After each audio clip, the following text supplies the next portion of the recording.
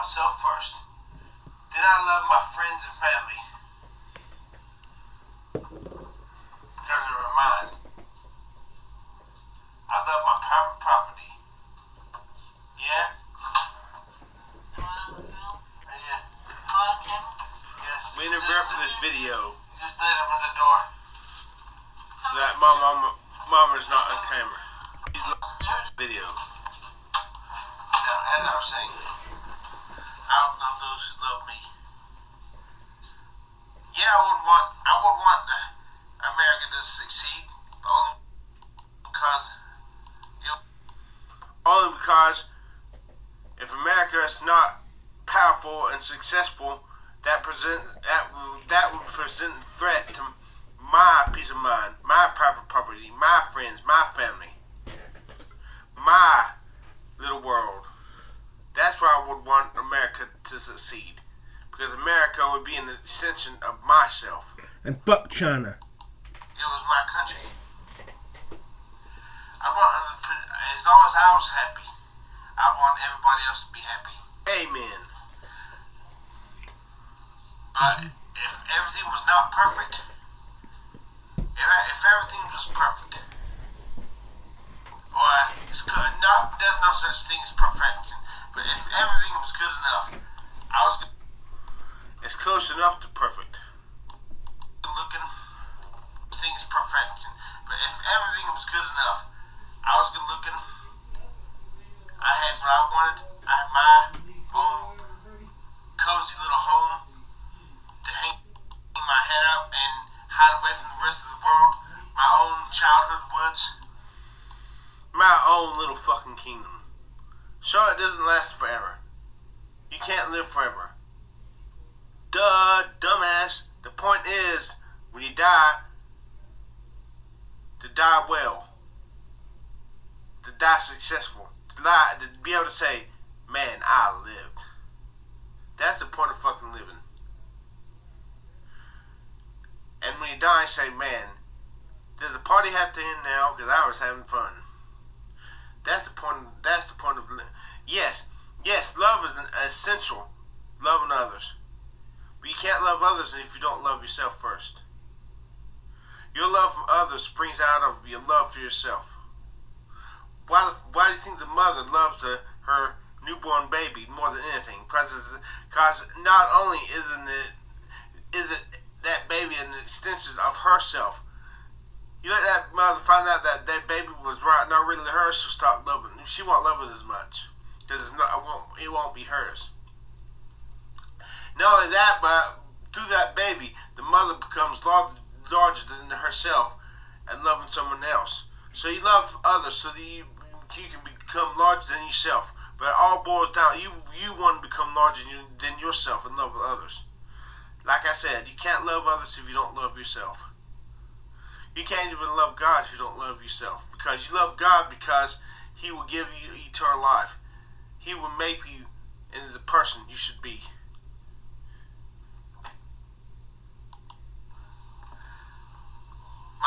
My If I had that, I would not need to steal.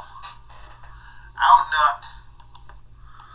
Unless, however, there was an imminent threat to my happiness. And I had to steal to maintain my happiness, or I had to steal to keep my happiness from being diminished. Other than that, I wouldn't want to steal. No, I, I don't. I don't. I understand how it feels to have stuff stolen from me. But if I stole, I'd rather steal from big business. They can ha- take it, and they'll, they'll never miss it.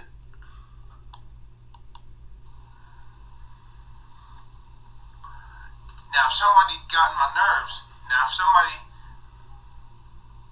uh, crossed my path, I Anyone who is an imminent threat to my happiness.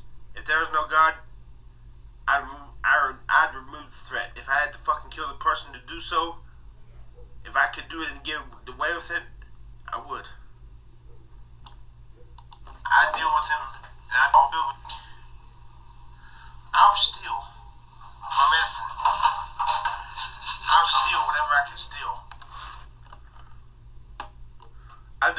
for stealing my stuff, and I do believe in God. Just think, just think how bad I would be if I didn't believe in God.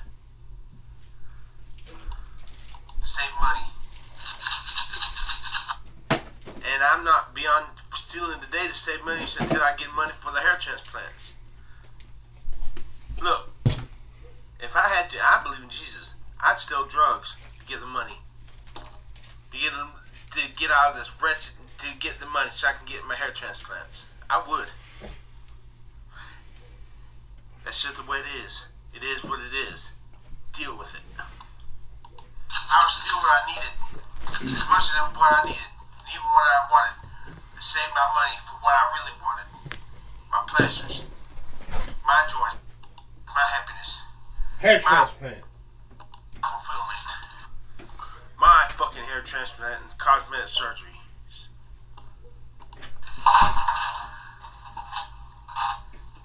And I would, I would, ju- I would do this saying, hey, I'm just, I'm just a deviant.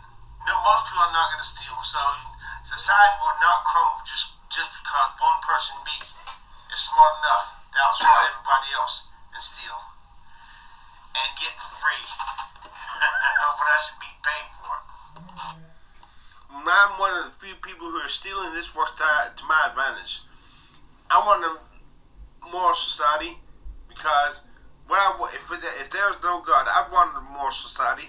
I wouldn't want anarchy. I'd want a society.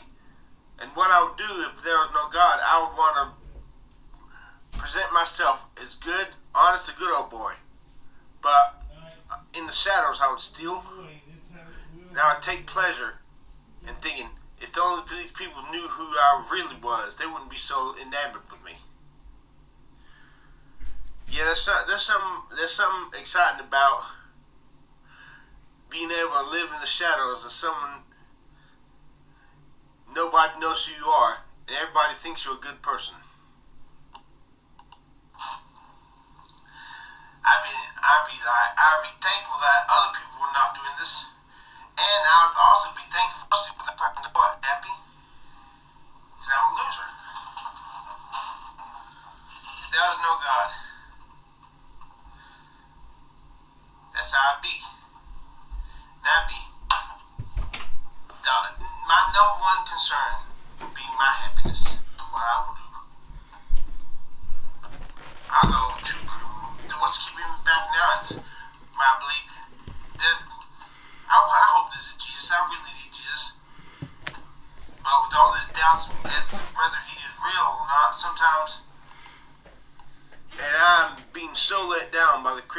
community. I'm not talking about Joel Osteen and those uh, fake Christians. I'm talking about Paul Washer, John Piper, Cal- Calvinist versus Versatile Arminianism, the despicable, putrid lack of unity among true Christians today makes me doubt if Jesus is even real. And the and the putrid inability to follow all of Jesus' teachings by Christians makes me doubt he's real too. Cherry picking. I feel a sense of calm when they're disproving Christianity, disproving the flood. That when they're proving that maybe the flood never happened, maybe Adam and Eve were myths. Because if Jesus is not real, I can go whole hog and do what I want to do. No hell. And all I have to worry about is the day I die of dying, lights out, game over. But there's a need in me for Jesus too. So I'm kind of in an uh, unhappy predicament. But I need Jesus. I need Jesus. I need. I'm. I'm willing to live for Him if He's real. I want to live for Him if He's real. But if He's not real,